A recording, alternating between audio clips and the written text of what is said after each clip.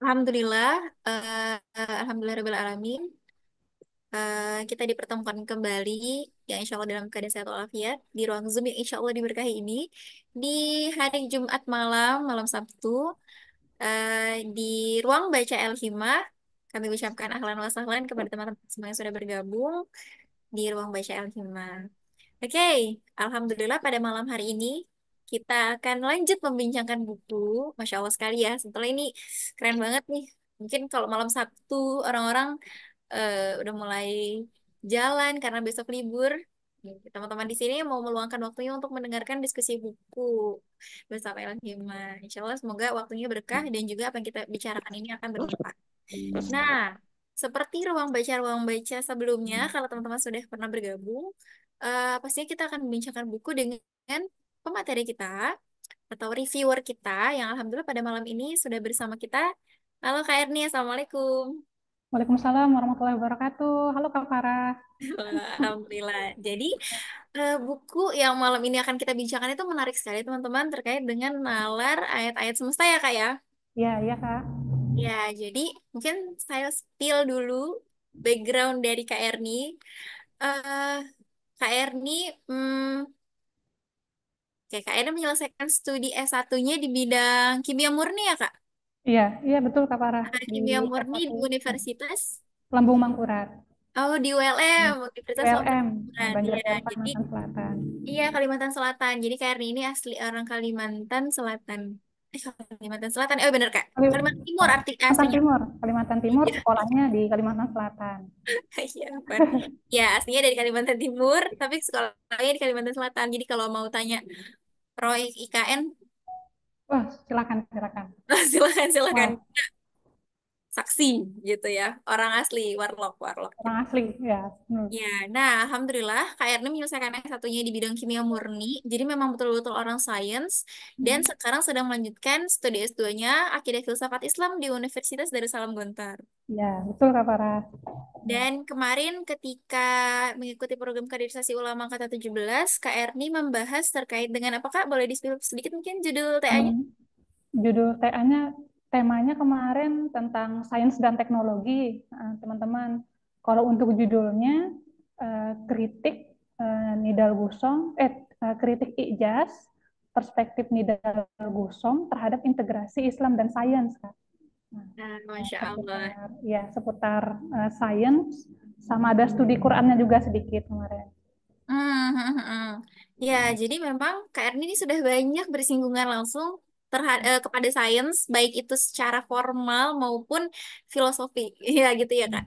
Nah ya, malam hari ini belajar. Beliau, hmm, beliau juga memilih buku yang juga berkaitan dengan bidangnya dan pastinya seru sekali karena kita mungkin akan dapat perspektif dari orang yang memang terjun ke dunia sains langsung bukan hanya pembaca gitu ya. Oke tanpa berpanjang kalam kita langsung saja kepada Kak Erni Priyati yang akan presentasikan hasil bacaannya. Pada Kak Erni dipersilakan.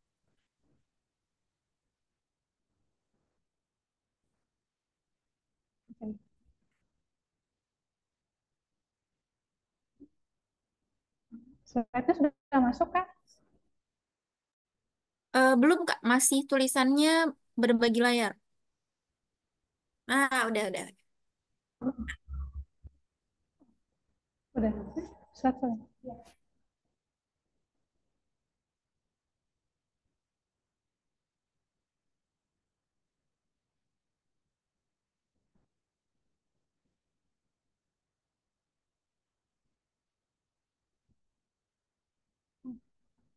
Oke, Bismillahirrahmanirrahim. Assalamualaikum warahmatullahi wabarakatuh. Oke, uh, selamat malam teman-teman semuanya. Uh, sebelumnya saya ucapkan terima kasih kepada Kak Farah, Masya Allah uh, sudah uh, mempersilahkan Ana untuk um, menyampaikan review buku malam ini ya Kak Farah. Nah juga kepada teman-teman yang sudah berhadir meluangkan waktunya untuk uh, menyimak review buku pada malam hari ini. Ahlan wa sahlan teman-teman, salam kenal. Ana Erni Puryati Nipsi, eh, asal asalnya dari daerah Kabupaten Pasir, Kalimantan Timur.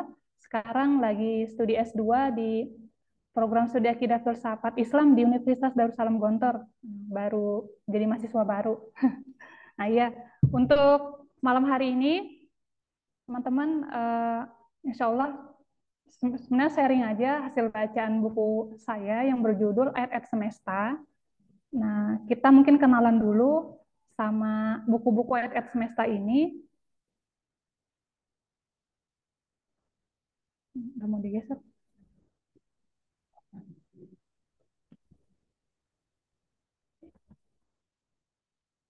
teman-teman.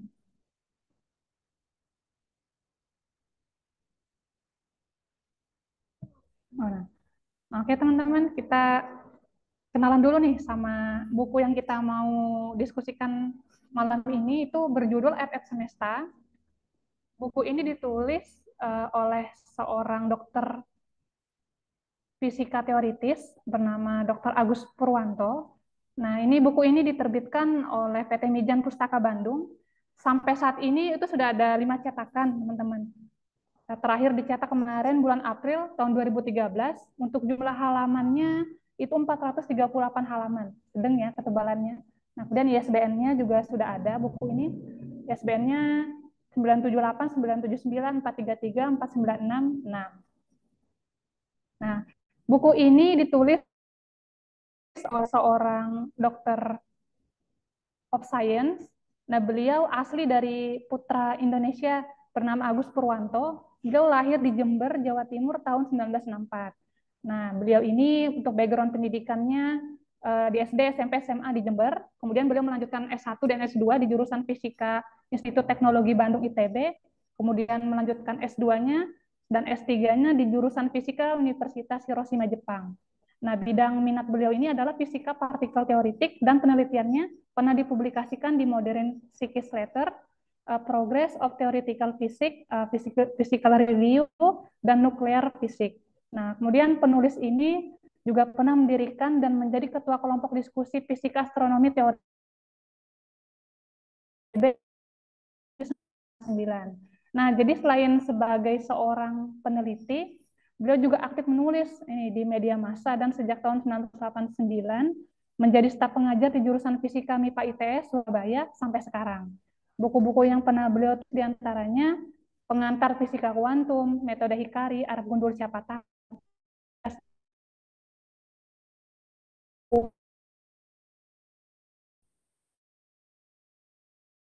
dulu uh, apa sih yang dibahas teman-teman?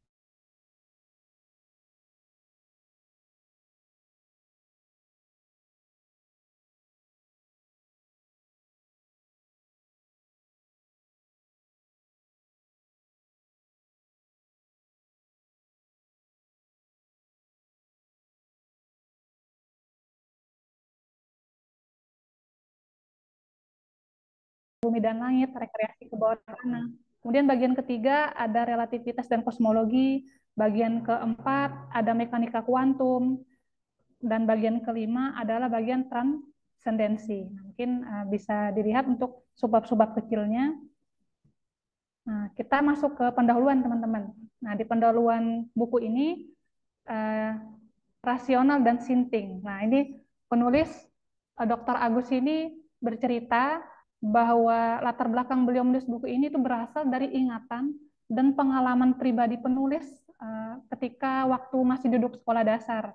Nah, jadi penulis ini berasal dari uh, keluarga yang ini, yang mampu gitu. Orang tua beliau tokoh terpandang waktu itu di di Jember dan beliau ketika itu pas uh, diduduk sekolah dasar atau SMP gitu di adat istiadat masyarakat itu sangat kental ini eh, teman-teman. Selamatan. Nah, mungkin di bahasa Jawanya selamatannya nah jadi yang mana selamatan ini warga satu keluarga besar itu membuat makanan yang sangat banyak kemudian dibagikan kepada keluarga atau tetangga-tetangga dekat mau tetangga yang dekat maupun yang jauh.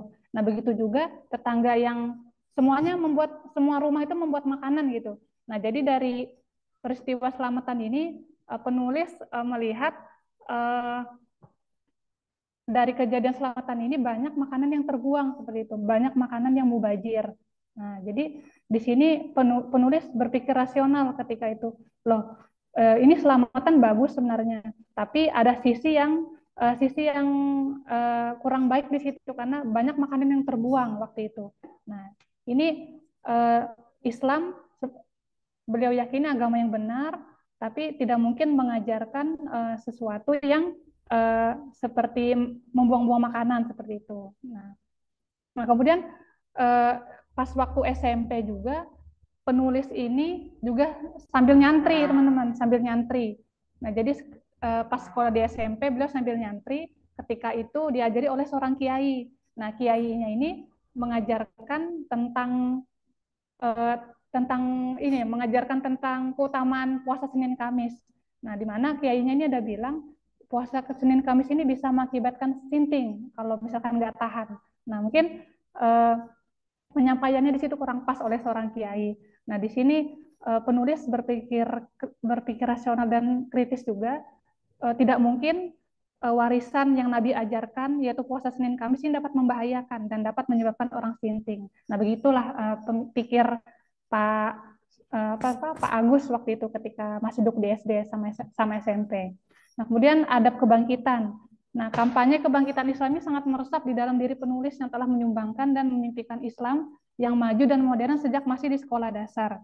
Nah, eh, ketika itu sekitar abad 15 Hijriah, teman-teman, wacana Islam itu sangat menggubu-gubu ketika abad 15 itu, ketika beliau masih duduk SMP. Nah, ini dibuktikan dengan eh, tanda kemodernan itu adalah ilmu pengetahuan dan teknologi yang maju. Itu dibuktikan dengan hmm, terkenalnya para ilmuwan-ilmuwan barat, eh, ilmuwan-ilmuwan barat seperti misalkan Albert Einstein dengan uh, rumus terkenalnya E sama dengan mc kuadrat. Kemudian ada Max Planck, Max, Max Planck dari Jerman, temannya Albert juga. Nah, itu sangat terkenal di abad-abad 15 kemarin. Yang mana itu membuat uh, Pak Agus ini dan teman-temannya di SMA sampai gencar gitu belajar bahasa Jerman.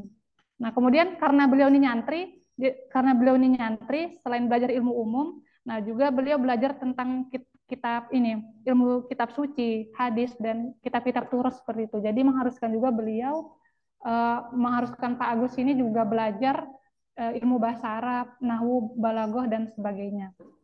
Nah, jadi uh, kemudian setelah lulus SMA, beliau melanjutkan uh, S1-nya dan S2 di ITB tadi. Nah, di ITB ini pun juga beliau sangat aktif di aktivitas uh, keagamaan seperti di yang aktivis keagamaan di Masjid uh, Salman yang dipelopori oleh oleh uh, Bang Ibad ya namanya, Dr. Imaduddin Abdurrahim. Nah, beliau salah satu ketua di Masjid Salman tersebut. Nah, kemudian tradisi ilmiah. Nah, beliau ketika menjadi mahasiswa di menjadi mahasiswa di ITB ini uh, menjadi mahasiswa gitu ya, ada fenomena menarik gitu yang beliau tangkap, yang mana terjadi perbedaan yang terjadi perbedaan yang mencolok antara mahasiswa muslim sama mahasiswa non muslim nah gitu diceritakan di buku ini.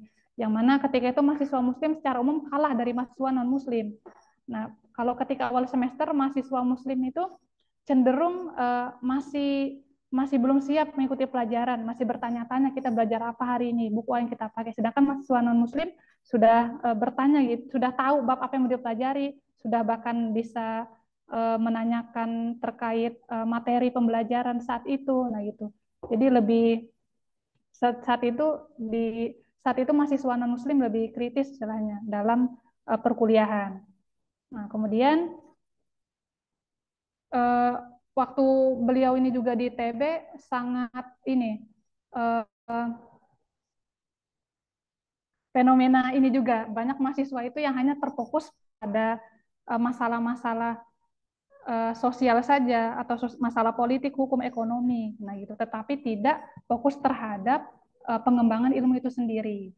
Nah, kemudian uh, pendahuluannya itu terkait dengan paradigma fikih, teman-teman. Nah, jadi di buku ini juga penulis menyinggung tentang uh, kejayaan Islam di bidang ilmu pengetahuan, yaitu terutama di sekitar abad 8 sampai dengan 15 pada masa dinasti Abbasiyah kita umat muslim sangat uh, jaya gitu di bidang sains, teknologi dan filsafat. Nah, tetapi sayangnya setelah abad 15 itu uh, wacana kebangkitan itu meredup, melemah gitu nah. Karena tidak sesuai dengan tidak sesuai dengan realitas waktu itu. Jadi masyarakat banyak masyarakat banyak acuh karena realitanya realitanya tidak tidak seperti abad 15. Banyak masyarakat itu yang terbelakang, bodoh dan miskin seperti itu setelah abad 15. Nah, kemudian eh, Dr. Agus juga aktif melakukan diskusi dan seminar. Salah satunya diskusi di Universitas Jember tahun 2003 ini dengan tema paradigma fikih penyebab keterpurukan Indonesia dan juga ada seminar internasional di Yogyakarta dengan tema agama dan sains di dunia pasca kolonial waktu itu. Nah, untuk uh, di singkatnya di seminar tersebut, Dr. Agus membenarkan nih teman-teman pernyataan yang menggugat dari seorang syekh bernama Syekh Jauhari Tantowi yang mana beliau ini adalah seorang guru besar dari Universitas Kairo di dalam tafsirnya Al-Jawahir mungkin teman-teman sudah pernah dengar. Nah, jadi Syekh Tantowi ini e, menulis bahwa di dalam kitab suci Al-Qur'an itu terdapat lebih dari 750 ayat kauniyah. Nah, ayat tentang alam semesta gitu. Dan hanya sekitar 150 ayat tentang fikih. Nah, jadi 750 ayat kauniyah, 150 ayat fikih. Tapi anehnya, para ulama itu hanya fokus menulis uh, kitab fikih, tetapi nyaris tidak memperhatikan serta menulis kitab alam raya beserta isinya. Nah, padahal kan sangat jauh banyak ya uh, kitab-kitab eh, ayat-ayat kauniyah dibandingkan ayat fikih. Tetapi ulama uh, ulama dan para umat muslim itu banyak menghabiskan waktu untuk membahas persoalan fikih saja dan bahkan sampai berseteru ya mungkin kita sering sering dengar atau sering lihat bahkan sampai sampai yang berdebat gitu berdebat berdebat bertengkar karena persoalan fikih. Mereka lalai atas fenomena terbitnya matahari, beredarnya bulan, dan kelap-kelipnya bintang. Nah, mereka abaikan gerak awan di langit, kilat yang menyambar, listrik yang membakar, malam yang gelap gulita, dan mutiara yang gemerlap. Mereka juga nggak tertarik pada aneka tumbuhan di sekitarnya, binatang ternak, maupun binatang buas yang bertebaran di muka bumi, dan aneka, aneka fenomena alam semesta lainnya. Nah, di sini selain disibukkan oleh urusan fikih saja, pengamalan dan e, pengalaman keagamaan kita ini cenderung esoteris, teman-teman.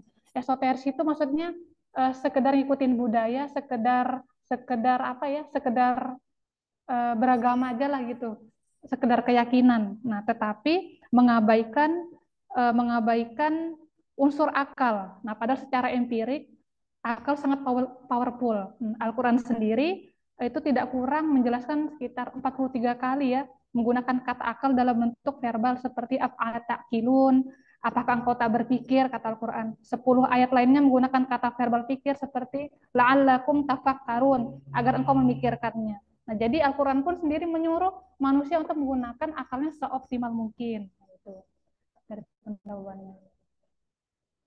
Nah, apa sih syarat uh, kebangkitan sains itu sendiri? Nah, syaratnya yang pertama, mau tidak mau ya, umat Islam itu harus menguasai pengetahuan, baik teoritis maupun praktis. Tidak bisa dipilih salah satu, harus dua-duanya berarti ya, kita harus menguasai secara konsep teori maupun prakteknya. Nah, kemudian eh, ayat-ayat kauniyah yang berjumlah 750 ayat di dalam Al-Quran ini agar mendapat perhatian, dibicarakan, didiskusikan, dan ditindaklanjuti dengan penelitian atas kandungannya. Enggak sampai kita melakukan penelitian aja, tapi ada hasil dari penelitian kita tadi itu. Hasilnya bisa produk, penemuan-penemuan atau hasilnya terobosan-terobosan baru, terobosan-terobosan yang baru dalam ilmu pengetahuan. Nah, jadi memang harus kita harus uh, melirik melirik dan mendalami dengan benar ayat-ayat sains ini agar uh, apa ya? agar bisa seimbang lah dengan fokusnya kita dengan ayat-ayat fikih seperti itu. Nah, kemudian yang ketiga, perhatian negara-negara Islam terhadap sains dan pengembangan yang masih sangat rendah. Terjadinya migrasi tenaga ahli atau brain brain. Nah, ini teman-teman di globalisasi dunia kita saat ini itu ada fenomena namanya brain drain ini, teman-teman. Itu brain drain ini berat, artinya migrasi tenaga ahli. Dalam tiga dekade terakhir itu lebih dari 500 ribu ilmuwan. Bayangkan 500 ribu ilmuwan itu dari negara-negara dunia ketiga berimigrasi ke Eropa, Amerika, Kanada, dan Australia. Nah, dari jumlah tersebut, sebanyak 55% berasal dari Asia, Iran, Pakistan, dan Turki adalah tiga negara Islam di kawasan Asia yang paling banyak kehilangan ilmuwan akibat brain drain ini. Hal yang sama dialami Mesir, Aljazair, dan Maroko yang memiliki kawasan uh, Afrika. Demikian pula Suriah, Lebanon, Yordania yang menjadi representasi representasi negara Arab. Nah, Nah, teman-teman, kita itu di dunia muslim punya ilmuwan yang dapat dapat Nobel. Nah, ada dua yang dapat Nobel di bidang Nobel di bidang fisika sama Nobel di bidang kimia. Kalau yang Nobel fisika ini namanya Dr. Abdul Salam. Mungkin ada yang sudah pernah dengar. Uh, kemudian yang mendapat Nobel di bidang kimia itu ada Dr. Ahmad Zewail. Nah, tapi sayangnya beliau ini ternyata bermigrasi. Uh, beliau brain drain tadi. Dr. Abdul Salam yang aslinya orang Pakistan bermigrasi ke Inggris dan Dr. Ahmed Jawel itu dari asli dari Mesir dan bermigrasi ke Amerika sekarang. Nah, sayang sekali ya ilmuwan muslim kita tidak tumbuh dan berkembang di negaranya sendiri, tetapi malah di negara barat. Nah, itu. Buku khusus. Nah, di sini um, penulis menuliskan judul menuliskan judul ini buku khusus ini yang mana uh, karena karena apa penulis menangkap uh, adanya sinyal kelalaian dan pengabaian pada sains di dunia Islam terjadi secara luas dan meliputi semua lapisan umat termasuk juga para elitnya. Jadi se semua kalangan ini benar-benar mengalami kelalaian pada bidang sains ini katanya Dr. Agus. Fenomena ini terus berlangsung uh, fenomena ini terus berlangsung sampai saat ini. Nah gitu. Islam penulis sepakat dengan Syekh Tantawi tadi ya, Eh, umat Islam itu hanya masih berkutat-kutat dan menghabiskan waktu, tenaga, pikirannya hanya untuk perkara fikih. Nah, gitu. Bukan tidak boleh, tapi harus diseimbangkan gitu loh. Maksudnya penulis uh, tidak hanya fokus ke fikih, tapi juga sains juga gitu. Meski ayat hukum hanya berjumlah seperlima dari ayat kauniyah, tetapi telah menyedot hampir semua energi dan umat Islam. Sedangkan ayat-ayat ayat-ayat kauniyah meskipun jumlahnya sangat banyak, tetapi terabaikan sebagai sains sebagai perwujudan normatif dari ayat kolonial seolah-olah tidak terikat dan tidak mengantar orang Islam itu masuk surga atau neraka. Nah, eh, sehingga tidak pernah dibahas baik di wilayah keilmuan maupun pengajian. Nah, mungkin pengalaman kita aja teman-teman, mungkin kalau di kultum, di tauji, di uh, ceramah-ceramah mungkin mungkin ada, tapi sangat jarang, sangat jarang yang membahas ayat kolonial ini. Pasti lebih sering ke syariah, ke fikih, ya kan? Nah, gitu. Nah, kemudian uh, menumbuhkan kesadaran bahwa al bahwa Allah melalui Al-Qur'an telah mengingatkan betapa urgennya memahami fenomena alam fisik dan membangun sains. Penulis memilih ayat-ayat mana yang merupakan ayat kauniyah dan menuntun pada konstruksi ilmu kealaman dan mana yang bukan. Tidak semua ayat yang memuat kata elemen alam membawa pada bangunan ilmu ilmu kealaman. Nah, di sini jadi terobosan yang dilakukan oleh Dr. Agus Purwanto ini adalah dengan uh, melakukan pengklasifikasian tadi ya berdasarkan subjek, surah dan ayat. Dan katanya Dr. Agus juga belum tentu uh, ayat yang mengandung elemen alam itu akan membangun uh, ilmu kealaman. Nah, seperti apa? Misalkan contohnya, nah di sini ada ayat yang pertama, kepunyaannya apa yang di langit dan apa yang di bumi dan dia yang maha tinggi lagi maha besar. Kemudian ayat yang kedua, dan di antara tanda-tandanya ialah berdirinya langit dan bumi dengan iradahnya. Kemudian dia memanggilmu sekali panggil dari bumi, seketika itu kamu keluar.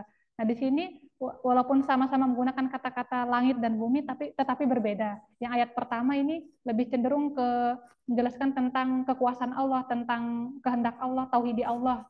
Nah tentang tauhid dan tentang syariah yang pertama. Sedangkan yang kedua ini bisa dibangun dari basis uh, ilmu ilmu pengetahuan. Nah, di sini bisa diteliti lebih lanjut oleh para peneliti gitu tentang bagaimana sih berdirinya langit dan bumi.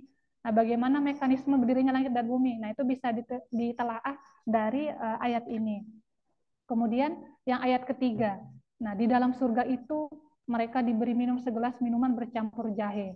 Nah, mungkin kalau kita analyze ini ayatnya apa di sini yang menarik? Nah, di sini penulis bilang yang menarik di sini bukan tentang penggambaran surganya, tetapi kenapa Al-Qur'an memilih jahe, memilih kata jahe di sini.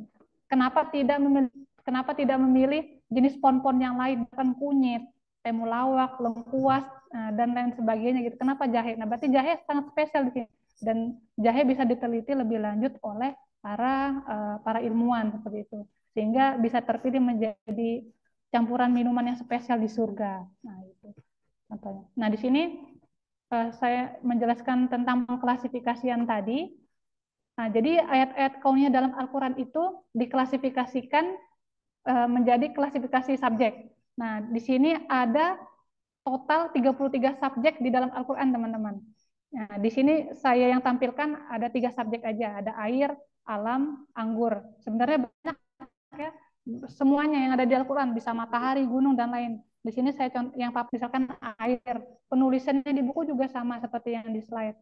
Air, mata air dari batu terbelah. Ini terdapat di surah Al-Baqarah ayat 74. Kemudian surah ke-7 160, begitu dituliskannya. Kemudian ada kata-kata alam. Nah, alam ini berarti ada dituliskan di surah surah yang ke-30 ayat 30 yang berbunyi fitrah tidak berubah. Kemudian alam teduh tidak sama dengan panas. Hukum sunatullah tidak berubah. Kemudian anggur. Nah, anggur ini ada disebutkan di Al-Qur'an, ada di surah apa aja? Di sini terangkum di surah ke-6, 16, 18 dan seterusnya itu ya ada lumayan banyak anggur. Nah, kemudian anggur sebagai minuman di spil Al-Qur'an di surah ke-16 ayat 67. Nah, di sini sudah dikelompokkan, sudah dirangkum oleh Dr. Agus dalam bukunya. Kemudian klasifikasi surah. Nah, klasifikasi surah ini berarti total ada 95 surah di dalam Al-Quran. Nah, di sini saya tampilkan contohnya tiga surah saja. Contohnya surah kedua Al-Baqarah. Nah, surah Al-Baqarah ini yang mengandung ayat-ayat koniyah itu ada di ayat 17, api dan cahayanya. Kemudian ayat 19, hujan lebat, guru, dan kilat petir di ayat 1. Surah Al-An'am di ayat 1, 2, 6, 3, 5. Nah, kemudian klasifikasi ayat yang ketiga. Nah, ini saya tuliskan di sini surah yang di dalamnya tidak terdapat ayat-ayat koniyah. Nah, berarti di dalamnya tidak terdapat ayat-ayat koniyah ada 19 sur ada 19 surah ini, teman-teman. Ada 19 surah yang di dalamnya tidak mengandung ayat-ayat koniyah. Berarti selebihnya ada mengandung ayat koniyah. Nah, diskusi dan rekonstruksi sains Islam. Sains adalah produk manusia. Eh, kenyataannya kita saat ini, sains yang berkembang hingga abad 21 ini adalah sains modern. Yang mana sains modern ini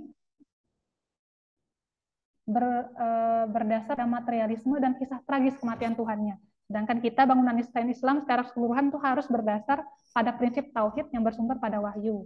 Jadi setiap bangunan ilmu pengetahuan selalu berpijak pada tiga pilar utama, yaitu pilar ontologis, aksiologis, dan epistemologis. Tiga pilar Islam ini harus jelas dibangun pada prinsip tauhid yang tersari pada kalimat la ilaha illallah yang terdeskripsi dalam rukun iman dan nah, Islam. Uh, maaf dekat. Nah, kalau pilar yang pertama tadi pilar ontologis ya. Pilar ontologis uh, itu berarti yang disorot adalah subjek ilmunya subjek ilmunya. Jadi Islam harus menerima realitas material maupun non material. Ini ada di surah Al-Haq ayat 38 sampai 39. Maka aku bersumpah dengan apa yang kamu lihat, dengan apa yang kamu tidak lihat. Berarti kita berarti kita kata Allah harus uh, mempercayai hal-hal yang bersifat uh, tampak dan bersifat tidak tampak seperti itu. Nah, makhluk itu tidak dibatasi oleh material yang terindra, tetapi juga yang imaterial tadi tatanan ciptaan atau makhluk hidup itu terdiri dari keadaan fundamental, yaitu keadaan material, fisik, dan spiritual. Nah, kemudian pilar pilar yang kedua adalah berdasarkan basis aksiologisnya. Nah, ini berarti terkait dengan tujuan ilmu pengetahuan itu. Nah, ini sesuai dengan uh, di dalam ayat Quran Al Imran ayat 191 ya, bahwa tujuan utama ilmu pengetahuan Islam adalah mengenal sang pencipta melalui pola-pola ciptaannya. Nah, pilar ketiga adalah pilar epistemologisnya. Nah, pilar epistemologi ini adalah bagaimana cara, bagaimana hmm, cara ya, bagaimana cara ilmu pengetahuan itu dicapai. Nah, di sini Al-Quran merupakan sebagai mukjizat terbesar Nabi Muhammad sekaligus sumber intelektualitas dan spiritualitas Islam. Nah, jadi ia merupakan pijakan bukan hanya bagi agama dan pengetahuan spiritual, melainkan juga bagi uh, semua jenis pengetahuan. Jadi Al-Quran ini selain Al-Quran itu sebagai sumber petunjuk, sumber intelektualitas, sumber spiritualitas, dan juga sebagai sumber pengetahuan. Nah, di sini dijelaskan di surah surah An-Nahl ayat 78. Kemudian diperkuat lagi bahwa Al-Quran itu sebagai petunjuk. Nah, di surah Al-Baqarah ayat 185 dan juga surah Al Imran ayat 138.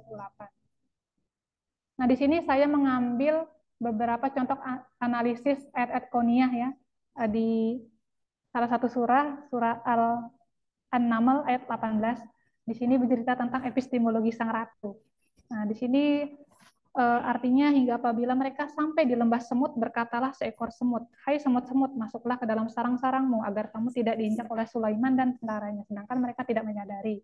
Nah, di sini mungkin kalau kita biasa membacanya paham ya, tidak ada yang ganjal di sini. Tapi kalau ditelaah secara ilmu lugoh, ilmu bahasa, ada yang menarik di sini. Nah, di sini ada penggunaan kata semut. Nah, penggunaan kata semut di sini ternyata dia menggunakan tak marbuto. Nah, tak marbuto berarti semutnya adalah semut betina. Nah, kenapa semut betina? Sem berarti semut betina ratu ya, ratu sebagai ratu. Jadi pemimpin di sini, pemimpin rombongan semut tadi adalah seorang ratu. Nah ini menarik. Jadi katanya Dokter Agus, ini bisa di, dilakukan penelitian lebih lanjut. Kenapa yang dijadikan pemimpin itu malah si ratu, bukan si raja. Nah, seperti itu. Nah, kemudian yang bisa dianalisis dari ini juga, katanya Dokter Agus, uh, per, tentang pertanyaan mengapa Al-Quran menggunakan uh, hewan semut. Kenapa tidak menggunakan hewan lain? Ada apa dengan semut? Nah, cara menjawab pertanyaan ini tidak lain adalah dengan penelitian lapangan, laboratorium. Jawabannya sudah dikuak ternyata oleh para ilmuwan di luar Islam. Di majalah Reader Digest yang terbit pada dasawasa 1970-an menguraikan keistimewaan semut.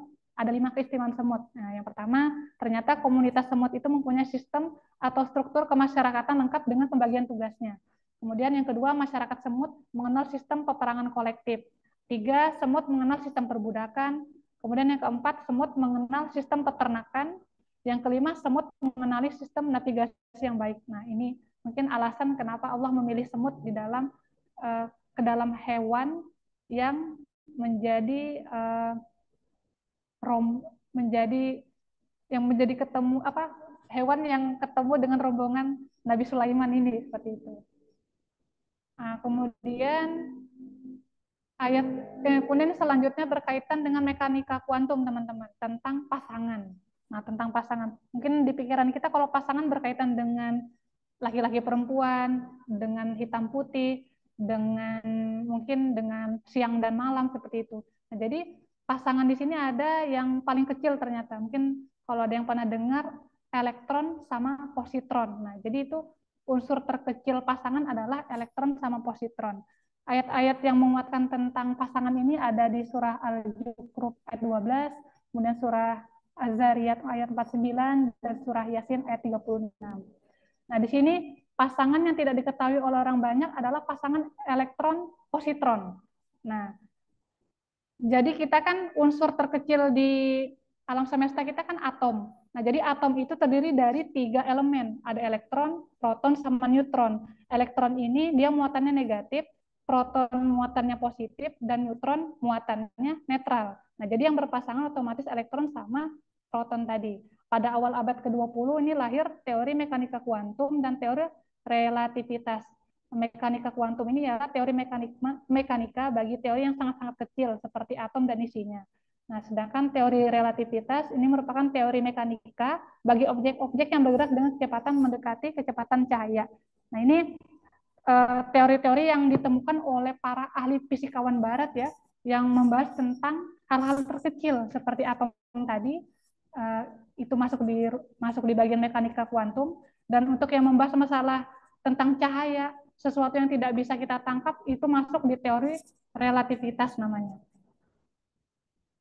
Nah, di sini teman-teman di dalam bukunya Dr. Agus menekankan kepada pembaca agar dalam rangka membangun sains Islam khususnya kita nih, angkatan muda, harus berbondong-bondong memasuki dunia sains terlebih dahulu, katanya beliau. Harus ada dalam jumlah besar anak-anak muda Islam yang terjun, bergelut dengan tekun dan bekerja dengan konsisten dan total sebagai ilmuwan di laboratorium-laboratorium.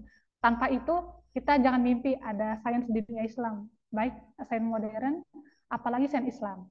Mengingat eh, kenyataan juga bahwa Al-Quran itu disampaikan dalam bahasa Arab, maka setiap calon ilmuwan muslim ya, ilmuwan muslim itu hendaknya melengkapi diri dengan pemahaman bahasa Arab dan pendukungnya seperti ilmu nahu, sorob dan balaghah. Nah, para kita sebagai para pemuda Islam itu nggak perlu bimbang, nggak perlu bingung juga dengan sains apa yang digeluti. silahkan kita geluti bidang sains yang sesuai minat kita, sesuai passion kita, sesuai panggilan hati kita. Sebenarnya seluruh ciptaan kita pada dasarnya telah tunduk pada kehendak Allah. Para pemuda muslim itu tidak perlu risau dengan subjek apa yang diteliti sepanjang hatinya bersih dan tulus. Maka Al-Quran tidak akan membiarkan hambanya tersesat.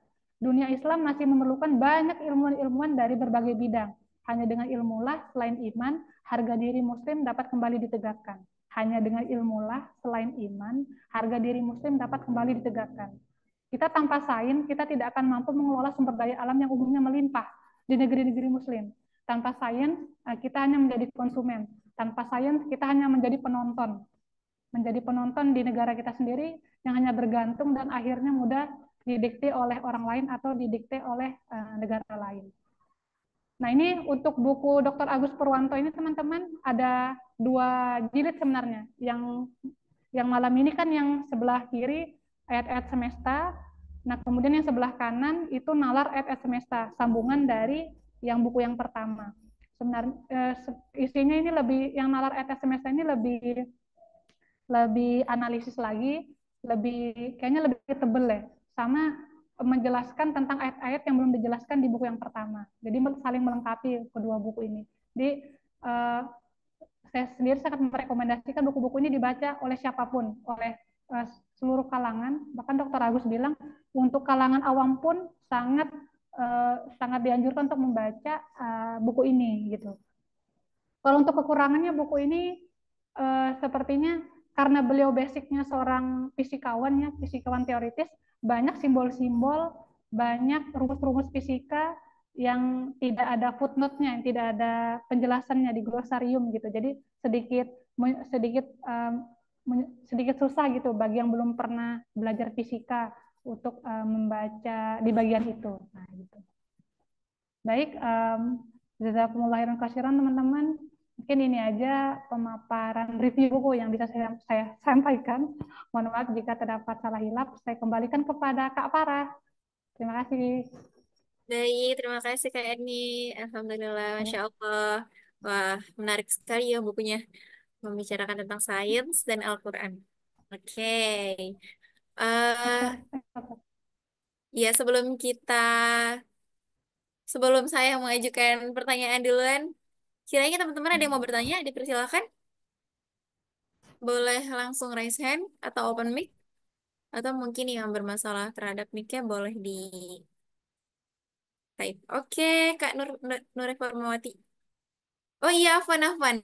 Uh, jadi sebelum bertanya dan sebelum masuk ke sesi diskusi, kita foto bareng dulu untuk dokumentasi. Mumpung masih full tim. Oke. Gimana, Kak Mariam? Mungkin teman-teman yang sedang ready boleh on cam untuk dokumentasi.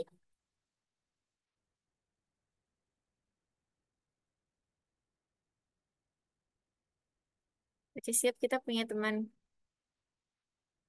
teman musang di sini. Silakan, teman-teman lain ada yang masih mau on cam? Untuk dokumentasi sebelum sesi diskusi. Oke, sepertinya cukup, Kak Mariam. Boleh dokumentasi. Oke, sama ya. Tiga, dua, satu.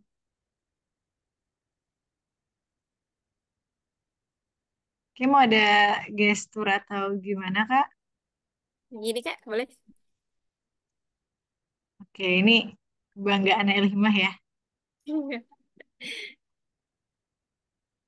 Baik.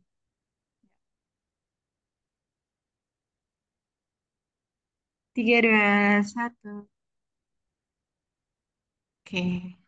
Ya, terima kasih Kak Mariam atas bantuan dokumentasinya. Kita lanjut. Ya, kita lanjut sesi diskusi kepada Kak Nara Formawati. Dipersilakan. Masya Allah, jazakumullah khairan kasiran. Kak Erni sudah memberikan uh, pengetahuan yang sangat luar biasa menurut kita. Apalagi ini adalah salah satu pengetahuan yang pada umumnya secara sudut pandang indera itu sangat sulit, Masya Allah. Kemudian eh, menjadi tertarik dari melihat penjelasan Kak Erni, Masya Allah. Mungkin eh, menarik ya bu- eh, untuk buku ini memang harus jadi koleksi sih salah satunya. Nah, yang ingin saya pertanyakan itu kan eh, apa namanya cukup tinggi ya untuk diterapkan dari sisi kebetulan di sisi pendidikan. Nah, karena menurut saya pribadi salah satu alam itu adalah salah satu yang paling banyak menjadi cakupan pertanyaan anak-anak. Nah, eh, seperti kayak misalnya anak-anak itu bertanya, Ustazah, eh, kenapa kenapa bisa ada alam? Nah, kayaknya kita perlu untuk memudahkan terus eh, salah satunya mengkaitkan juga ya dengan ayat Al-Quran tadi sebagaimana penulis tadi sampaikan. Nah, yang menjadi pertanyaan, apakah di dalam buku itu ada salah satu eh, terapan mungkin ya atau tips dari penulis bagaimana caranya bisa eh, mengembangkan atau menumbuhkan kepada anak gitu. Karena kebetulan tiap hari interaksinya sama anak kecil gitu. Mungkin itu yang menjadi pertanyaannya. Ya, boleh Kak Erni, silakan sini. Langsung dijawab Kak Farah? Baik, terima kasih. Uh, Syukron uh, Kak Nureformawati atas pertanyaannya. Uh, untuk baik, uh, untuk penulisan Dr. Agus di buku ini sebenarnya tidak ada ini tidak ada tips untuk penyampaian ke ini ke anak-anak mungkin ya, Ustazah. Nah, beliau di sini kan karena background beliau seorang saintis, ya ilmuwan, ilmu fisika teoritis, jadi beliau memang me, apa ya mengklasifikasikan kan pertamanya tadi terus di belakangnya baru beliau menjelaskan per, per subbab gitu. Dan di sini uh, jujur untuk di beberapa subbab memang bahasannya sangat tinggi Ustazah karena untuk proses riset beliau kan harus uh, dengan dengan riset uh, fisika teoritis seperti itu. Jadi banyak pemaparan-pemaparan rumus-rumus gitu, uh, pemaparan ini, pemaparan rumus-rumus fisika itu sendiri. Uh, jadi kalau untuk diterapkan mungkin disampaikan ke anak-anak sekolah dasar seperti itu atau anak-anak SMP masih terlalu berat di sini Kak Revor. Mungkin bisa ngambil beberapa contoh ayat yang mudah dipahami saja menurut saya di sini. Nah, gitu.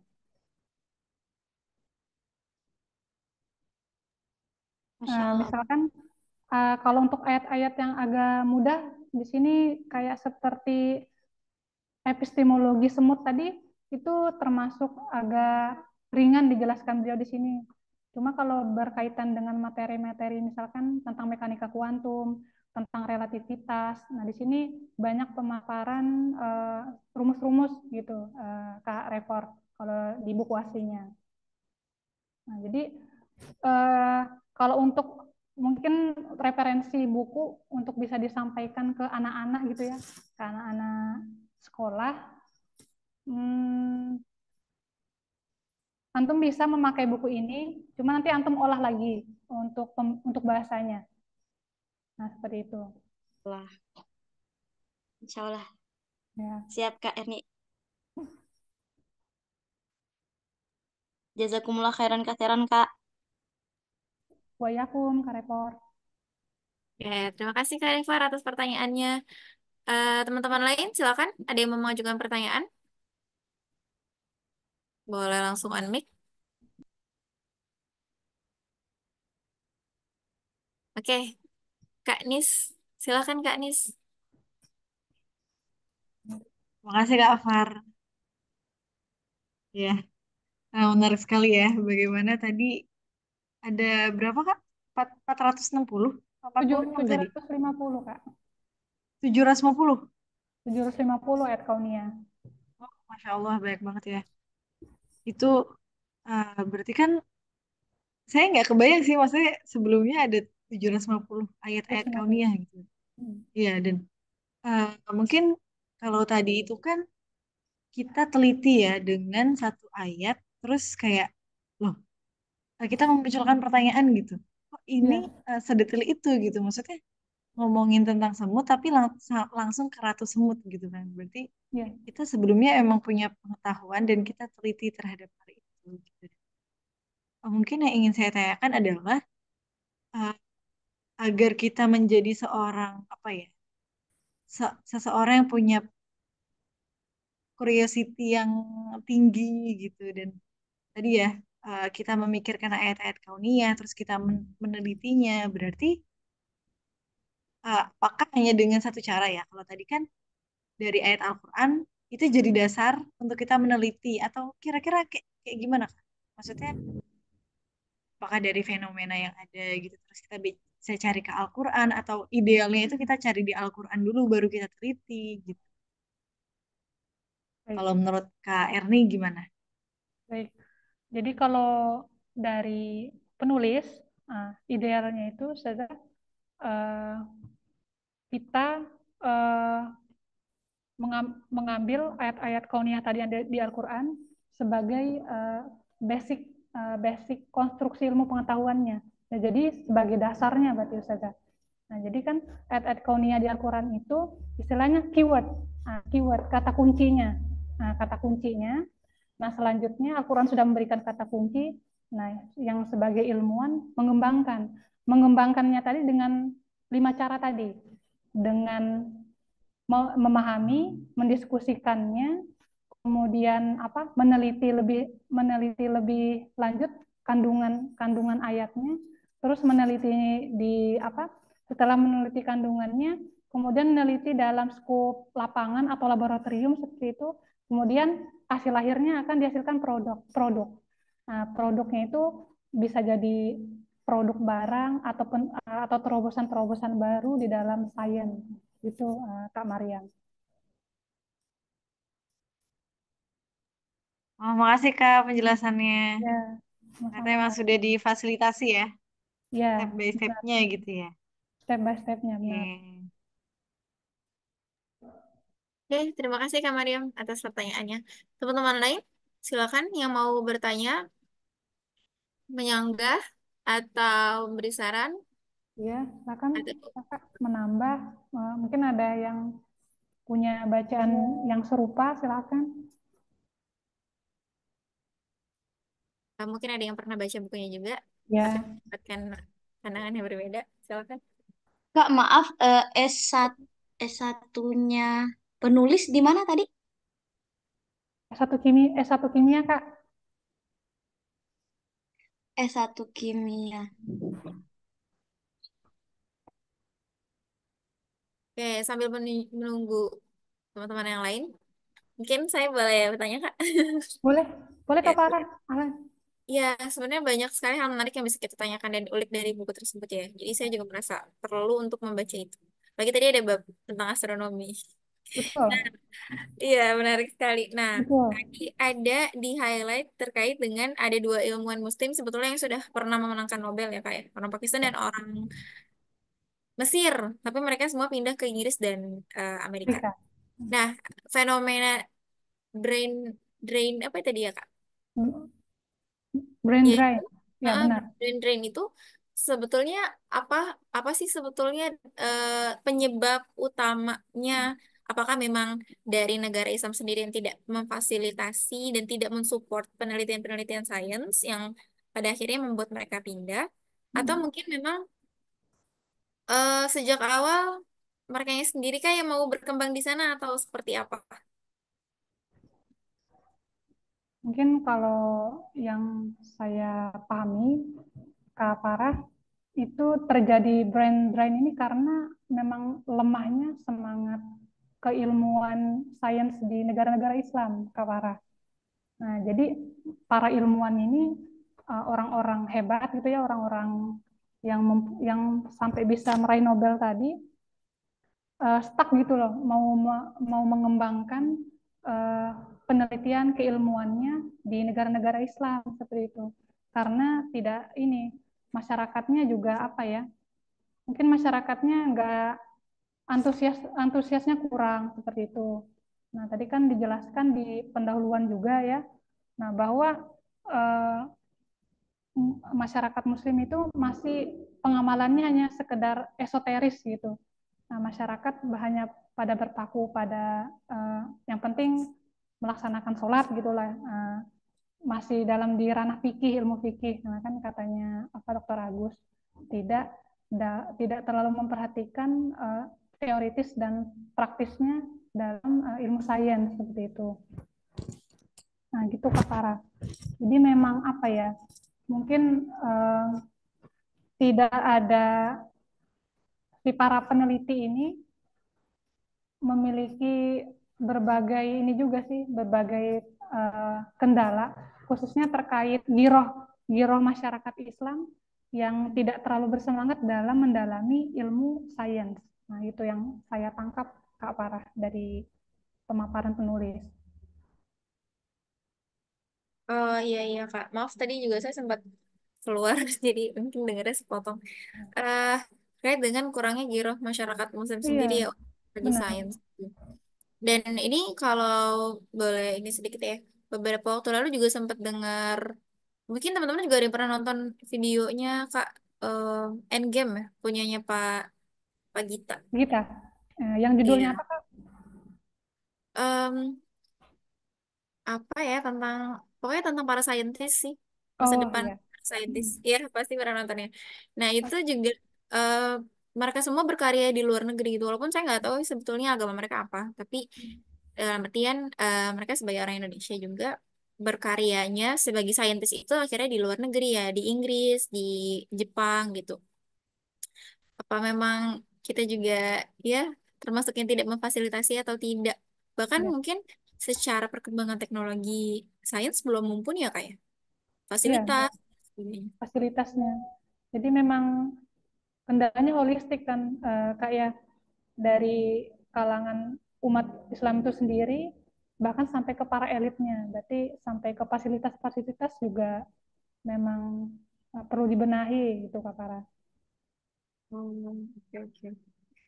Eh, kalau dari bukunya sendiri nih Kak, gimana sih kesan Kak Erni sebagai ini ya tadi kalau sebagai apa seorang memang berlatar belakang sains gitu terhadap buku itu eh, gimana dari awal sampai akhir Eh, gimana penu apa penulis itu menyampaikan gagasannya apakah tampak bisa direalisasikan menjadi potongan-potongan apa eh, aksi yang lebih kecil kah atau mungkin masih terlalu tinggi karena memang isinya hanya sebatas konsep kah bukan sebatas ya eh, baru sampai pada tahapan konsep atau seperti apa Eh, maaf Kak Farah boleh diulangi tadi Kak Farah? Oh iya, jadi kalau dari Kak Erni sendiri sebagai pembaca buku itu, kira-kira menurut Kak Erni gimana nih karena punya latar belakang sains? Apakah buku itu eh, poin yang disampaikan oleh Pak Agus ya, Bagus ya. ya beliau eh, ada aksi-aksi nyata yang bisa dilakukan atau memang beliau memaparkan terkait dengan konsep besar? Baik.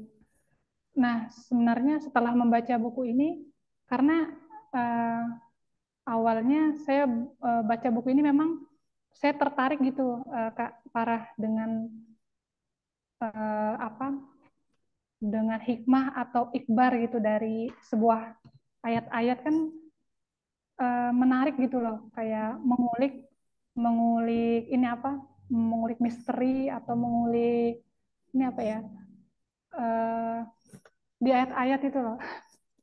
Mengulik ini lagi makna mengulik makna di suatu ayat itu menurut saya pribadi sangat eh, sangat menarik. Nah, jadi eh, kita terpacu gitu loh eh, untuk tahu oh jadi sebenarnya ayat ini eh, maknanya seperti ini ada keajaiban gitu. Jadi setiap ayat itu memang perlu di kita pelajari perlu kita kulik makna ilmunya baik dari segi sains atau dari segi agamanya. Itu sangat menarik ya di saya.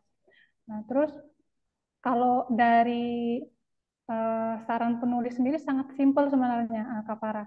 Jadi penulis itu bilang kita nih sebagai anak muda beliau menekankan tuh kepada anak muda sebenarnya untuk tekuni minimal satu aja, satu uh, science, satu ilmu pengetahuan apa pun. Ilmu pengetahuan kan bukan ilmu pengetahuan alam aja kan ya, banyak ilmu pengetahuan sosial, humaniora dan lain kan semuanya ilmu pengetahuan. Kamu fokus di ilmu pengetahuan itu satu, dalami, kembangkan, uh, tekuni dengan tekuni dengan benar-benar seperti itu katanya uh, Dr. Agus. Nah, kemudian apa dari dari bidang sains yang kamu geluti tadi yang bisa kamu kontribusikan gitu. Nah, mungkin uh, dari semerawutnya semerawut, semerawutnya problem keilmuan kita saat ini katanya Dokter Agus itu yang bisa kita lakukan. Nah, gitu. Jadi jalan aja terus, jangan jangan mundur ke belakang, jangan menyerah dengan uh, problem bola salju yang kita hadapi di belakang. Jadi katanya Dokter Agus, uh, jangan istilahnya jangan pantang lah, jangan pantang menyerah. Pokoknya belajar terus katanya beliau lakukan eksperimen-eksperimen baik itu di laboratorium eksperimen secara sosial nah, gitu jadi uh, itu sih Prof Agus ngasih sarannya gitu kita kepada anak-anak muda Kapara di jangan jangan min, apa jangan minder lah jangan kecil hati. Hmm.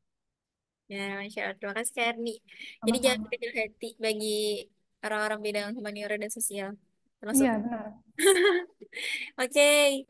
Kak Nur punya pertanyaan lagi? Silakan. Uh, lebih tepatnya kayak meminta pendapat dari Kak Erni sih. Kalau misalnya di depan Kak Erni ini secara pribadi ya bukan secara penulis menurut saya uh, minat maksudnya menurut saya pengetahuan dari sisi sains itu uh, kalau misalnya tidak on uh, tidak based on rasa suka atau rasa ketertarikan ya segala sesuatu sih sebenarnya itu tidak akan mau terjun atau tenggelam di dalam bidang itu ya. Nah hmm. kemudian uh, saya juga saya pribadi juga menyadari uh, ketika hal itu harus menjadi sebuah kebutuhan untuk untuk ketertarikan antara multidisiplin ilmu ya berarti. Nah Eh, saya ingin menanyakan kepada Kak Erni kalau misalnya di depan Kak Erni nih ada anak sosok uh, pendidikan yang sedang kuliah berarti dia masih mahasiswa sedang aktif gitu. Terus uh, ada juga yang anti dengan sains mungkin yang karena antinya bukan karena belum mempelajari tapi karena melihat itu adalah susah dengan rumus-rumus.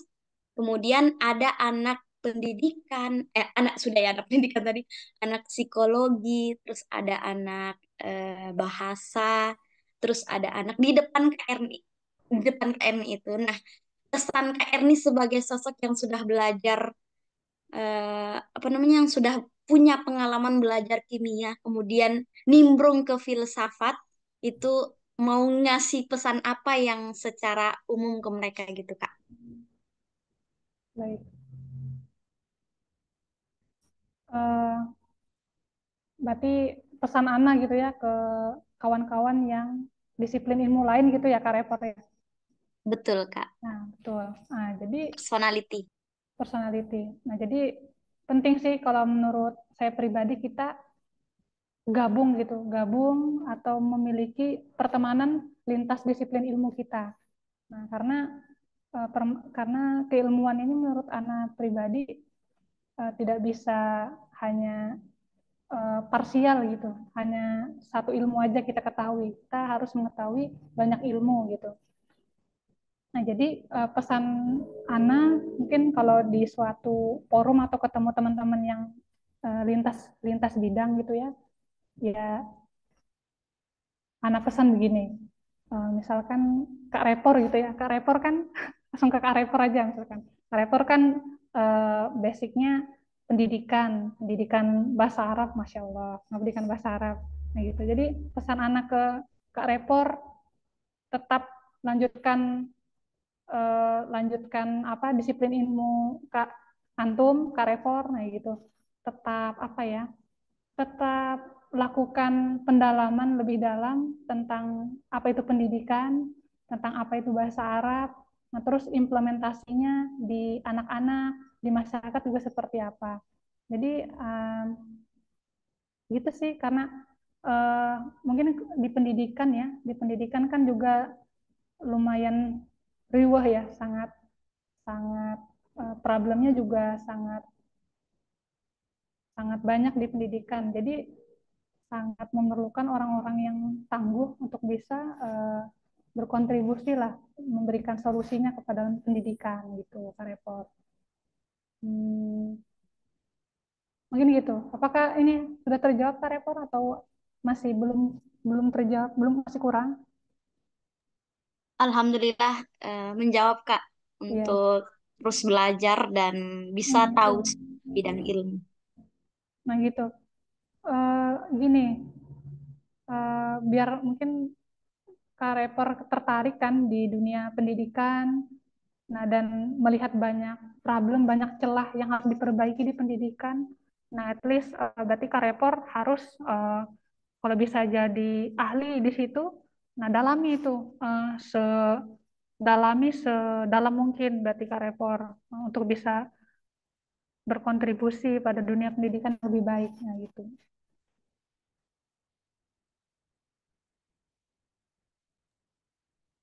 Bagaimana kan Ekor?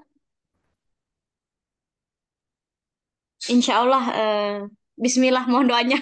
Semoga berkah, semoga bisa mempelajari semuanya. Ruang kayak gini emang sangat membantu ya, Masya Allah untuk sharing. Silakan kakak-kakak yang sudah berhadir, uh, ditanyakan aja.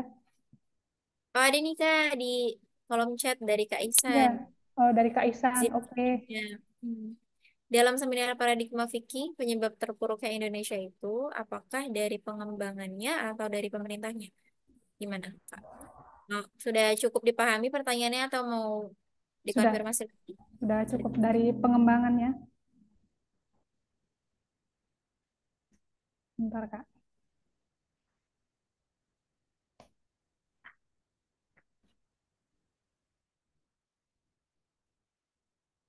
Oh, eh, ada tantan.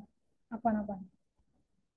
Uh, pertanyaannya Kak Isan, seminar paradigma fikih penyebab terpuruk Indonesia, apakah dari pengembangannya atau pemerintahnya? Oke, okay.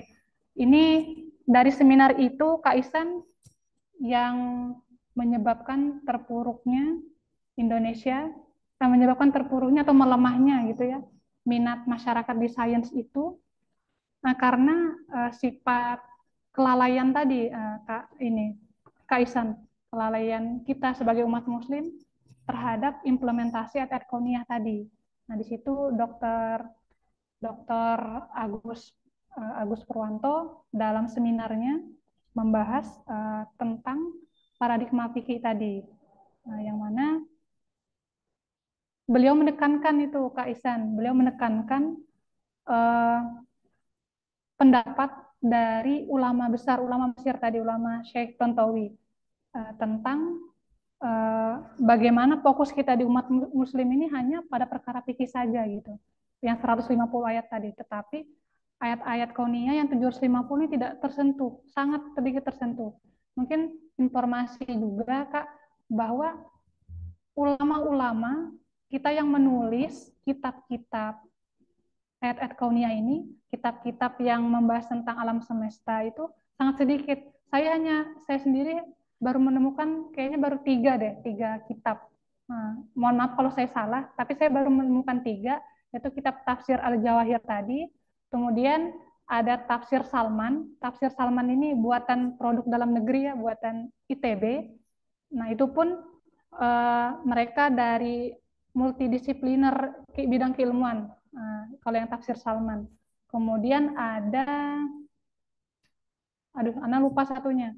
Nah, pokoknya sangat sedikit, sudah sampai lima gitu kitab yang saya temukan yang membahas tentang pure full membahas tentang eterkonia sangat sedikit.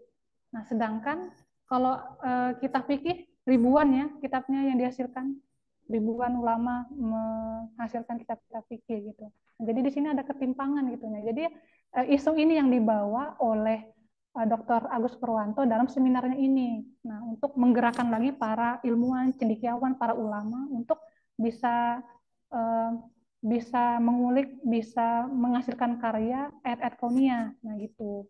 Yang saya penangkap saya Kak Isan. Apakah eh, sudah ini, apakah mm, sudah terjawab Kak Ihsan ya? Bagaimana Kak Ihsan? Sepertinya cukup Kak. Oh cukup. Ada Nah, pertanyaan lagi Kak di bawah? ada pertanyaan dari Kak Zaki. Izin bertanya, pada subbab mekanika kuantum asyariah, Dr. Agus Pur dengan jelas menghubungkan teori mekanika kuantum dengan gagasan Islam. Tapi bagaimana pengaruh teori mekanika kuantum ini terhadap konsep akidah dan keimanan dalam Islam, mengingat teori mekanika kuantum cukup signifikan dalam mempengaruhi pemahaman terhadap realitas. Salah satunya melahirkan kemungkinan interpretasi banyak dunia atau multiverse, sebagaimana diskusi pemahaman alam semesta yang diciptakan oleh Allah, dan kemungkinan adanya banyak dunia yang berbeda. Hmm, baik.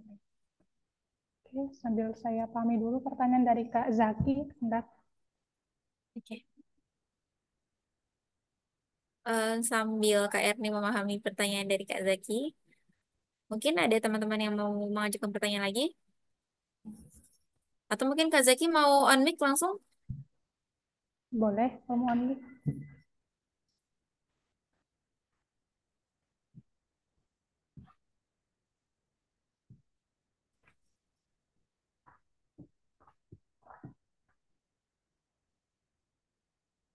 Silakan. Mungkin belum bisa Kak. Gimana? Mau langsung dijawab atau Mekanika kuantum ya, sebentar. Ya.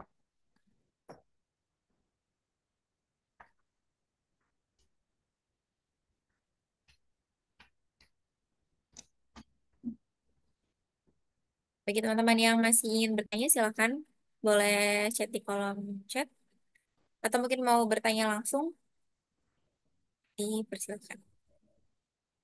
Saya ingin bertanya Kak. Oh iya, boleh. Baik, eh, jawaban untuk Kak Zaki dipending sebentar ya sambil menunggu Kak Erni. Dipersilakan, Mariam.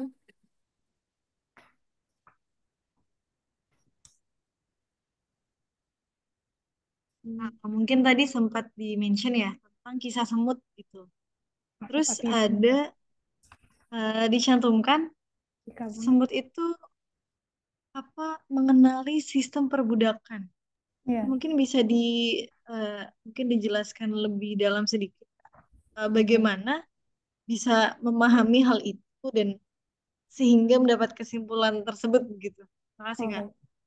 Baik, eh, terima kasih. Kak Farah, eh, saya izin menjawab pertanyaan Kak Nis, Nis Mariam dulu, boleh?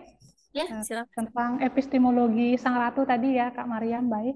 Nah, di sini, syukron Kak Mariam pertanyaannya, mungkin eh, harus didetailkan memang ini eh, penjelasannya terkait eh, surah An-Naml ayat 18 tadi. Nah, jadi itu kalau yang epistemologi Sang Ratu ini, Dr. Agus dia eh, pakai dua, dua metode dalam menganalisisnya. Yang pertama itu dari lugohnya, dari bahasa. Nah, di sini eh, saya bacakan itu. Nah, katanya Dr. Agus di sini, Kak. Nah, kita yang baru belajar bahasa Arab tentu melihat sesuatu yang kurang dalam terjemahan tersebut. Nah, yang sudah pernah belajar bahasa Arab gitu ya, terjemahan minimum kolab 6 latun. Nah, tadi ada maaf, tadi ada terjemahan apa ayat yang berbunyi kolab 6 latun. Itu mestinya telah berkata seekor semut betina, bukan telah berkata seekor semut tanpa kata betina kata kata beliau. Alasannya 6 latun. Nah, 6 latun berarti 6 latun ini membawa tanda tak marbutoh ya di atasnya. Nah, itu sebagai tanda bagi isim semut betina, bukan semut jantan. Berarti kalau semut jantan, enam apa? Namlun ya, namlun. Nah, sehingga sem, uh, semut yang dimaksud adalah semut betina, bukan semut jantan. Demikian pula kata yang mendahuluinya adalah kalab yang berasal dari koala dan disadari hia yakni isim domir yang menunjuk subjek muannas dan mufrad perempuan tunggal. Nah, di sini uh, Dr. Agus juga lumayan detail menjelaskan uh, menjelaskan nahu nahunya di sini di dalam buku ayat-ayat semesta ini. Nah, jadi kemudian sang semut betina sedang menyeru ya ayuha al-namlu yang berarti wahai para semut. Keterangan ini diperjelas dengan kalimat lanjutannya uh, udkulu masakinakum menggunakan fi'il amr di situ Kak, Mary menggunakan fi'il amr kata kerja perintah yang berarti masuklah ke dalam rumah-rumah kalian nah, artinya sang semut ini sang semut betina ini sedang memerintah uh, pasukannya atau rombongannya untuk masuk ke lubang selanjutnya kita melakukan imajinasi atau personifikasi di dalam kehidupan manusia nah jadi kalau kita kaitkan dengan kehidupan kita nih sebagai manusia yang biasanya merintah-merintah itu siapa? Yang merintah-merintah itu pimpinan kan biasanya. Yang merintah-merintah seperti uh, camat, bupati, gubernur, presiden, nah seperti itu. Nah, artinya berarti semut betina tersebut adalah pemimpin bagi para semut. Nah, karena betina pakai tak marbutoh tadi, maka semut semut yang dimaksud dalam Al-Qur'an adalah ratu. Nah, demikian berarti terjemahan yang paling pas itu jadi terjemahan yang paling pas adalah Hingga apabila mereka sampai di lembah semut, berkatalah sang ratu semut, Hai semut-semut, masuklah ke dalam sarang-sarangmu, agar kamu tidak diinjak oleh Sulaiman dan tentaranya, sedangkan mereka tidak menyadari. Nah, gitu. Tetapi eh, jika kita buka terjemahan Al-Quran dalam bahasa Indonesia, tidak satu pun yang menerjemahkan kalat namlatun dengan berkata ratu semut, kecuali Mahmud Yunus yang menerjemahkan dengan berkata raja semut. Meski raja dan ratu dapat mempunyai peran sama, tetapi keduanya berbeda dalam jenis kelamin. Laki-laki perempuan atau jantan betina, terjemahan Departemen Agama RI dalam bahasa Jawa menyebut ratune, semut. Nah, terjemahan ini selain kurang tegas karena menggunakan tanda kurung ratune. Nah, dalam bahasa Jawa, ratu juga bermakna raja yang laki-laki seperti banyak digunakan dalam ungkapan pewayangan Prabu Puntadewa, Ratu Ingamarta. Prabu Baladewa Ratu Ing Mandura, Prabu Kresna Ratu Ing Dua, Rawati, dan dan Baladewa Ratu Ing Mandura. Prabu Kresna Ratu Ing Dua, Dua Rawati dan seterusnya. Nah, pengertian ini juga digunakan dalam menerjemahkan surah An-Nas ayat 2. Malikin Nas dengan ingkaran ngaratoni ah, maaf, maaf. Malikin Nas atau yang merajai manusia. Nah, di sini eh, hasil analisis bahasa dalam surat An-Naml ayat, ayat 18 tadi menyatakan bahwa eh, pimpinan komunitas semut ini adalah ratu. Nah, kita sepakat ya, karena analisis beliau tadi dari segi lugoh, dari segi nausorobnya. Nah, biolog atau jo, atau zoolog eh, muslim dapat menjadikan pemahaman ini sebagai starting point atau titik tolak penelitiannya. Ratu bagi semut adalah hasil analisis bahasa, bukan teks apa adanya dari kitab suci. Al-Malikatu Ratu. Bandingkan dengan keistimewaan lebah, khususnya tentang sarang dan khasiat lebah seperti yang tersurat dalam surah An-Nahl ayat 68 sampai 69. Jadi eh, dapat ditarik kesimpulan ini Kak Kak Mariam, Al-Qur'an itu pertama Al-Qur'an menyatakan secara jelas bahwa lebah itu diberi wahyu agar membangun rumah-rumah mereka di gunung-gunung dan pepohonan dan makan buah-buahan. Nah, kedua, menginformasikan bahwa dari perut lebah ini keluar cairan yang dapat diminum dan berfungsi sebagai obat. Dari ayat-ayat ini, eh, rahasia kelebihan dan keutamaan lebah relatif jelas dan mudah dipahami. Nah, semua disampaikan menggunakan redaksi yang sangat jelas tanpa perlu analisis bahasa sebagaimana kasus semut. Nah, jadi kalau yang kasus semut di surah An-Nahl tadi itu lebih lebih jelas gitu, uh, Kak dibanding dengan kasus yang semut. Kasus yang semut ini kita harus melakukan analisis dari segi lugohnya. Nah, karena ratu merupakan hasil atau kesimpulan dari analisis bahasa, maka langkah selanjutnya adalah konfirmasi lapangan atau laboratorium. Nah, jadi setelah dokter setelah dilakukan analisis lugo, dilakukanlah analisis laborato, laboratorium. Nah, dalam proses ilmiah ini ratu semut dimunculkan sebagai hipotesis yang diuji kebenarannya melalui langkah-langkah atau eksperimen terencana di laboratorium. Inilah contoh dan bentuk konkret epistemologi Islam. Sumber informasi awal bagi ilmu kita adalah kan dari Al-Quran, bukan dari mitos, keraguan, atau curiosity semata. Nah, gitu. Nah, setelah, nah jadi yang alasan ada lima, lima penemuan dari ilmuwan ilmuwan barat tadi tentang keistimewaan semut dibandingkan yang lainnya itu itu dari proses hasil lapangan, eksperimen lapangan atau laboratorium. Seperti itu, Kak Maria.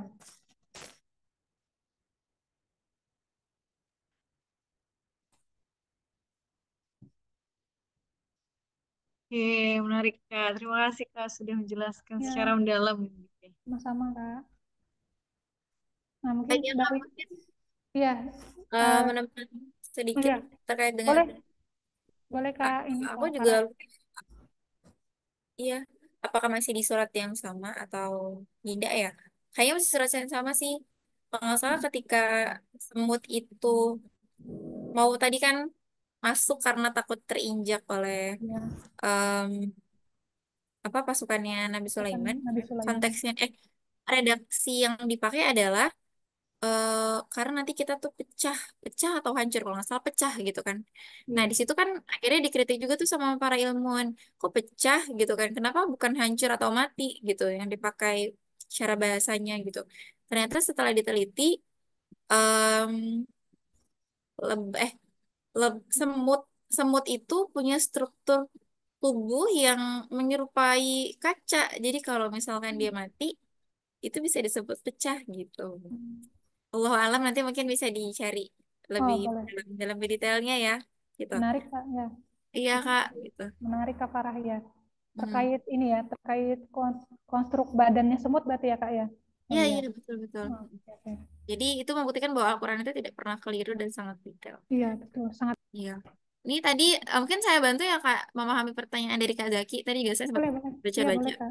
Eh, beliau ini bertanya tentang bagaimana eh, pengaruh teori mekanika kuantum terhadap akidah dan keimanan dalam Islam karena memang eh, apa teori mekanika kuantum itu s- eh, sampai saat ini ternyata menjadi salah satu yang mempengaruhi adanya pemahaman terhadap realitas. Terus dia melahirkan eh, interpretasi seperti multiverse gitu loh, yang mungkin Iya. banyak sekarang dibahas gitu. Hmm. Gimana Kak? Mungkin mau bantu dijawab? Baik. Tadi kalau pertanyaan Kak Jaki ini juga kayaknya ada menyinggung tentang eh, mekan mekanika eh, kuantum eh, dari sisi konsep akidahnya keimanan dalam Islam ya, berarti. Nah, berarti itu ada prinsip-prinsip eh, dalam teori kuantum itu yang tidak sama dengan dunia yang kita tinggali saat ini, Kak. Nah, jadi semisal prinsip ada namanya prinsip ketidakpastian. Nah, di mana saintis itu eh, tidak bisa memprediksi posisi partikel di dunia kuantum karena sifat superposisinya. Jadi kalau kita ngomongin bahasa kuantum itu sangat sangat kecil ya, eh, Kak ya. Mungkin ukurannya nano-nano ya. Kalau nano itu berarti 10 pangkat berapa itu, Kak? 10 pangkat min 10-an kalau salah. Iya, 10 pangkat min 10 atau 10 pangkat min 20. Sangat kecil kalau kita berbicara kuantum. Yang at least pasti nggak bisa eh, kita indra gitu. Nah, eh, selain itu ada pula eh, Spooky action at a distance yang dikatakan oleh Albert Einstein. Nah, ada dua partikel yang berpasangan yang mempengaruhi satu sama lain dan saintis ini Kak masih belum bisa menemukan jawaban pasti mengapa hal ini bisa terjadi.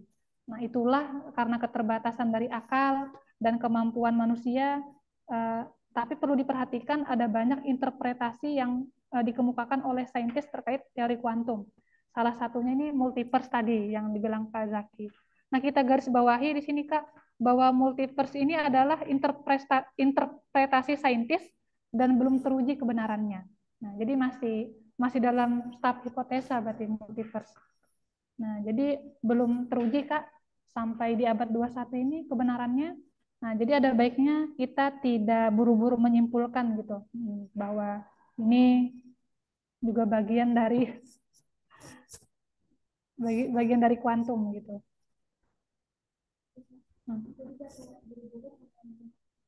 Hmm. Nah, jadi uh, kita nggak boleh buru-buru juga menyambungkan uh, fenomena multiverse ini dengan uh, akidah seperti itu. Karena belum teruji tadi kan kebenarannya. Kita belum tahu benar benar atau tidaknya. Kan? Masih ilmuwan masih pada tahap hipotesa terkait multiverse ini. Nah, di dan jujur dan di buku Dr. Agus juga nggak ada menyinggung masalah multiverse tidak sampai pembahasan multiverse ya. Nah, jadi saya belum bisa menyampaikan yang perspektif beliau. Itu Kak, mungkin boleh dikembalikan kepada Kak Farah dan Kak Zaki mungkin kalau ada yang mau ditanyakan lagi. Baik, bagaimana Kak Zaki? Ada tanggapan? Sambil menunggu mungkin kalau mau menanggapi boleh via chat juga. Eh, ada tambahan referensi ya. Kemarin itu pas banget ada launching buku Sains Tidak Sepasti Itu. Ini mungkin saya tulisnya di sini. Nanti Baik. teman-teman mungkin bisa, eh salah. Oh ya, rekomendasi Teman-teman buku ya bisa, ya? iya bisa cari. Ini kemarin juga mungkin baru satu, satu bulan yang lalu Judul. baru launching. Ada di Instagramnya Ya. Pimpin Bandung yang diterbitkan sama Menara Salman. Judulnya Oh, Sains Mm-mm. Penulisnya itu ada orang-orang sains, memang backgroundnya beberapa dosen ITB. ini dari ITB juga berarti anu, Kak Ya, Farah. Oh iya. iya, benar-benar. Benar, dari Nah, jadi ITB dia ada kelompok diskusinya memang ini. Sama ya, eh, para-para profesor dosen di sana juga eh, menerbitkan buku kan ya, banyak buku berkaitan dengan ayat-ayat kauniyah. Nah, jadi rekomend recommended lah buat teman-teman yang mau banyak baca. iya betul-betul. Dan mungkin terutama orang-orang yang memang ada background sains ya akan lebih mudah memahami Iya, benar, benar Kak. itu. Bagaimana, Kak Zaki atau teman-teman yang lain? Masih ada yang mau ditanya dan didiskusikan? Kak, halo Kak, silakan kalau mau ditanyakan. Kak. Oke, terakhir deh Kak, mungkin eh, di Boleh. samping buku ayat-ayat semesta tadi, apakah Kak Erni punya bacaan pendamping lainnya? Oke, yang berkait yang Hmm? selinier ya Kak, Iya. Kak sama buku semesta. Eh, Buku-buku pendamping itu selain kan eh, saya membaca buku ayat-ayat semesta ini, terus buku lanjutannya yang nalar-nalar ayat semesta, kemudian eh, baca juga eh, tafsir Jawahir dari Syekh Tontowi tadi, Syekh Ton Syekh Tontowi Jauhari, kemudian baca juga yang relevan ya sama buku ini, terus baca juga buku ini tafsir Salman, tafsir Salman, kemudian itu aja deh kayaknya sudah baru lima nih. Tapi bukunya ini jujur tebal-tebal semua dan sangat ini, sangat full rumus. Ya lumayan full rumus Kak. Mantap.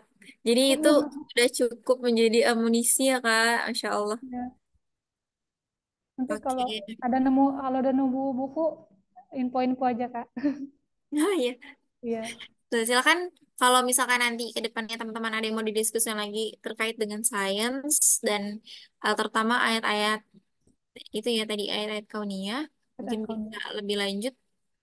eh Japri KRNI Boleh, via boleh. atau ke admin Salam. Elhimah silakan. Nah, jangan lupa Hmm. untuk join ke channel kita. Mungkin kalau ada teman-teman yang sudah join, alhamdulillah. Dan bagi teman-teman yang tadi bergabungnya lihat dari story Instagram atau gimana dan belum join, silakan join. Nanti akan dikirimkan linknya, link channel untuk dapat informasi berkaitan dengan eh, agenda ruang baca selanjutnya. Karena insya Allah kita akan rutin ya kayak melaksanakan agenda ruang baca ini setiap hari Jumat malam dengan eh, tema buku yang beragam. Gitu. Jadi silakan ada di eh, kolom chat untuk bergabung ke channel WhatsApp kita. Dan di sana juga nanti akan dikirimkan artikel-artikel ilmiah ya Kak, insya Allah. Yang tidak terlalu ilmiah juga, tidak terlalu populis juga, insya Allah bisa menjadi amunisi yang bergizi untuk teman-teman semua gitu dengan berbagai topik tentunya. Eh, baik, Eh, mungkin sebelum kita tutup ada closing statement dari Kak Erni. Closing statementnya singkat aja mungkin Kak Farah. Hmm? Eh, tetap semangat teman-teman di bidang kalian masing-masing. tetap semangat di bidang kalian masing-masing, geluti, dalami, eh, perdalam, eh, balance balancekan antara bidang kalian itu dengan pengetahuan ilmu agama juga. Nah, insya Allah, eh, insya Allah bermanfaat dunia akhirat itu. Semangat teman-teman. Masya Allah. Cintai, cintai, cintai passion kalian masing-masing lah, ya, gitu. Geluti. Jadi jadilah ilmuwan di bidang kalian masing-masing. Itu aja Kak Farah. Oke, Masya Allah singkat, padat, berisi. Jadilah ilmuwan di bidang kita masing-masing. Amin ya, semoga eh, teman-teman di sini Kak Erni dan semuanya eh, diberikan taufik oleh Allah untuk mencapai cita-citanya hingga menjadi il- ulama yang ilmuwan. Insya Allah. Amin. Nah, eh, Alhamdulillah eh, ruang baca kita pada hari ini sudah selesai. Ditutup dengan banyak sekali diskusi menarik yang insya Allah menambah pengetahuan kita. Dan semoga ini bisa menjadi salah satu buku yang recommended untuk teman-teman yang mungkin mencari-cari bacaan yang sangat banyak tapi bingung baca apa. Nah, bisa ikuti agenda ruang baca L5 untuk tahu apakah buku-buku tersebut layak dibaca secara analitis dan mana buku-buku yang hanya dibaca sambil lalu saja. Itu ya, Kak ya. Oh iya Kak, nambah menambah sedikit. Oke, Jadi boleh. buku ini sangat recommended eh, selain untuk eh, para mungkin para pembelajar sains, tapi juga sangat rekomendasi buat para ini, para kawan-kawan mungkin sebagai ini yang suka mengisi ceramah sebagai dai lah, sebagai ulama, sangat rekomendasi karena kadang eh, apa ya?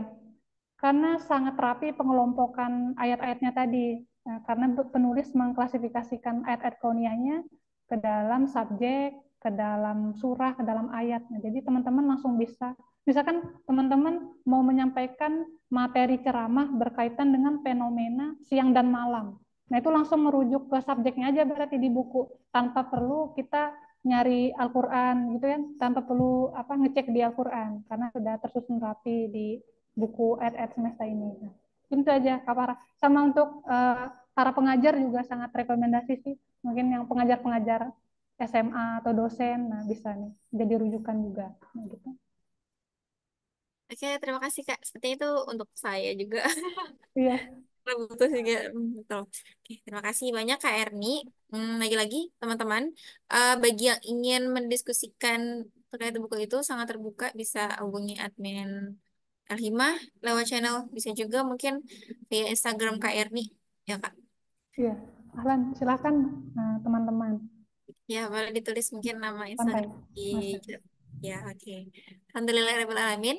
Uh, maki- uh, kita cukupkan diskusi kita pada malam hari ini. Semoga uh, bertambah ilmu kita semua dan apa yang sudah Hmm. dibicarakan itu bisa bermanfaat bagi kita semua dan berkah tentunya.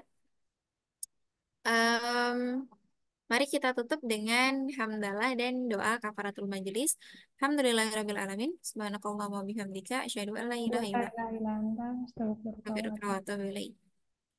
Oke. Tadi Kak Erni ngirim nama IG-nya masih ini pesan langsung ke aku. Belum ke Sama. gua. Nah, silakan teman-teman bagi yang mau diskusi Ya. lanjut dengan Kak Erni. Ya. Eh, saya sebagai moderator pamit undur diri. Mohon maaf bila ada salah kata.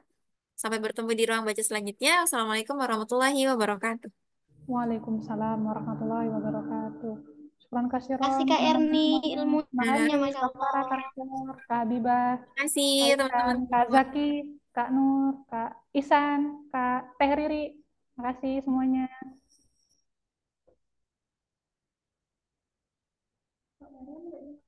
Kak Mariam. Sudah keluar. Luar biasa. Pamit.